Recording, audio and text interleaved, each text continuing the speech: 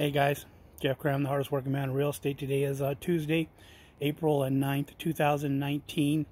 Um, today in history, well, there was the end of the Civil War. Grant and Lee signed the, the our armistice and uh, ended the Civil War in the signing of a pen. And um, truthfully, it started a whole nother war. You know, it just kind of ignited everything to an all nother level. But um, yeah, we stopped uh, one of the greatest wars we've ever had, and the only war I hope we ever have. And secondly, so hey, I got a question for you. You know, I hear a lot of people moving out of California.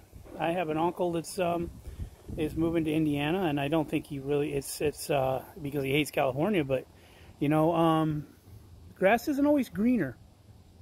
If you know what I mean. So, um, answer below. Comment in uh, your reason why you think people are moving out of California and I'm going to enjoy this nice sunny spring day for today at least and uh, see my little tree behind me that it blooms every every year at Easter.